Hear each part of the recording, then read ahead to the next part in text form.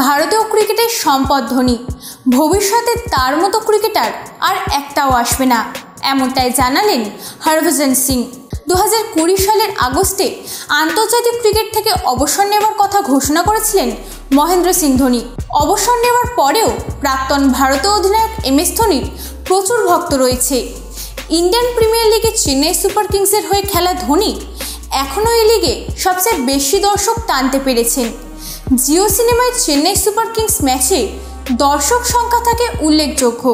শুধু চেন্নাইতেই নয়, ধোনি যেখানেই যান না কেন, ধোনির ফ্যান ফলোয়ারদের সংখ্যা কখনো অস্বীকার করা যায় না। সম্প্রতি ভারতের প্রাক্তন স্পিনার হরভজন সিং বলেছিলেন যে, ভারতে ধোনির চেয়ে বড় ফ্যান বেস আর কারণ নেই। হরভজন সিং এই বিষয়ে বলেছেন, মহেন্দ্র সিং ধোনি একজনই। ওর জায়গা অন্য কেউ নিতে পারবে না। ভারতের তার চেয়ে বড় ক্রিকেটার আর হতে পারে না। কেউ তার চেয়ে বেশি রান করতেই পারেন, কিংবা কেউ তার চেয়ে বেশি উইকেটও নিতে পারেন। কিন্তু তার চেয়ে বড় ফ্যান বেস আর কারণ নেই, এবং ভবিষ্যতেও হবে কিনা সন্দেহ আছে। ভারতীয় দল ও সিএসকেতে ধোনির অধিনায়কত্বে খেলা হরভজন মনে করেন, এই অভিজ্ঞ উইকেট রক্ষক ব্যাটসম্যানের প্রতি কৃতজ্ঞতা প্রকাশ করা ছাড়া উপায় নেই।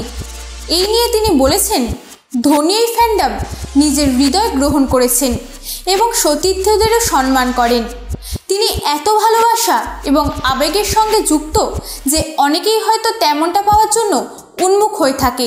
কিন্তু ধোনি পনেরো বছর ধরে এই ভালোবাসা এবং আবেগকে তার হৃদয় বহন করেছেন এবং এখনও তিনি আগের মতোই রয়েছেন।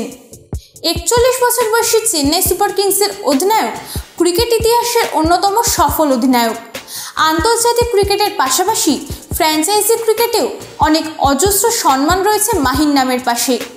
ধোনি একমাত্র ভারতীয় অধিনায়ক, যিনি দু হাজার সাতের টি টোয়েন্টি বিশ্বকাপ দু হাজার এগারোর ওয়ানডে বিশ্বকাপ এবং দু হাজার তেরো সালে চ্যাম্পিয়ন্স ট্রফি জিতেছেন। তিনি সিএসকেকে মোট চারবার আইপিএল শিরোপা জিতিয়েছেন। একটি দু হাজার দশ সালে, একটি দু একটি দু এবং পরেরটি দু হাজার একুশ সালে।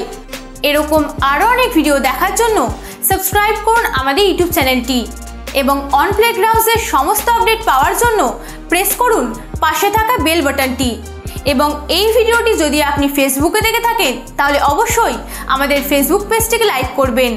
এবং ইনস্টাগ্রাম ও টুইটারে আমাদের ফলো করতে ভুলবেন না।